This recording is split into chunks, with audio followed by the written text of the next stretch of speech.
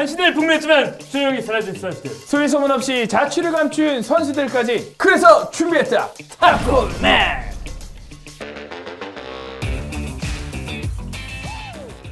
네 번째 시간입니다 아, 이깁시다 오늘은. 너 이번엔 지면 하차한다며. 저는 이제 다음번에 못 맞출 시 은퇴하겠습니다. 다연패는 용납이 안 됩니다 오늘의 문제 주세요 1979년 4월 12일생. 오 그저께 생일이었네 이 친구. 현재 에이전트. 아 에이전트. 세 시즌 만에 100골 달성. 오 오호 공격수. 전이맨. 우리 웬만하면 다 전이맨인 것 같아. 확실한 건 공격수입니다. 난 다른 건 다 모르겠고 한 79년생으로 한번 유출을 해보는 게 좋을 것 같아요. 이렇게 호빙류 5 4 3 넘어갑시다. 오 꼴보기 싫어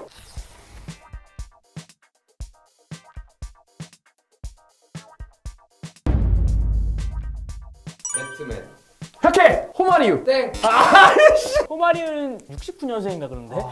한국. 아, 또 한일 월드컵이면 또 활약을 했겠네. 아 나 알았어. 라치오. 라치오 79년생? 5 4 3 아, 자, 넘어갑시다.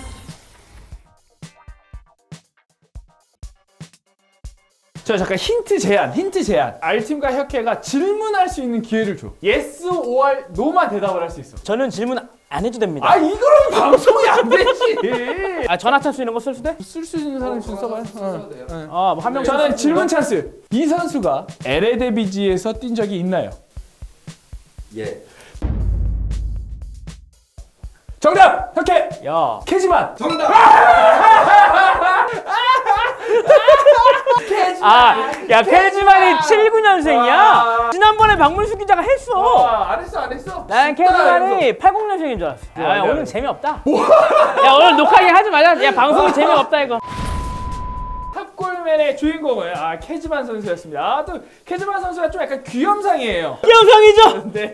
박지성 선수하고 또 함께 뛰면서 좋은 활약을 펼쳤었죠. 전성기는 PSV 시절이라고 볼 수 있고 그렇죠. 예. 매 경기 뭐 골을 넣었다 할 수도 있는 첼시에서 또 한 말아먹고 네, 첼시 한번 해서 한 번 더 거침없이 말았고 본인의 그 한국 인기를 또 실험하기 위해서 또 용산 전자상가에 갔습니다만 아무도 못 알아보는 구도도 있었고 또, 또, 또. 네. 아. 현재는 에이전트를 하고 있으면서 라치오, 밀린코비치, 사비치라는 구단과 선수 임마 선수 라치오 밀리코비치 이러면은- 사비치가 야. 어 구단 이름이냐? 무리뉴와 또 궁합이 안 좋았고요. 알렉스 팀장과도 궁합이 안 좋았습니다. 자 오늘의 벌칙 진행 자 방금 끝나고 야 종료하자. 이걸 얼마나 때리고 싶든지. 저로 가야지. 던질 거 없냐? 넌 또 왜 와 일로 일로 찍어야 일로 찍어야 돼 네 하나. 둘. 아이 피하지 마! 진짜 용산에서 캐지만 봤다는 사람은 어, 그쵸. 댓글 좀 달아주세요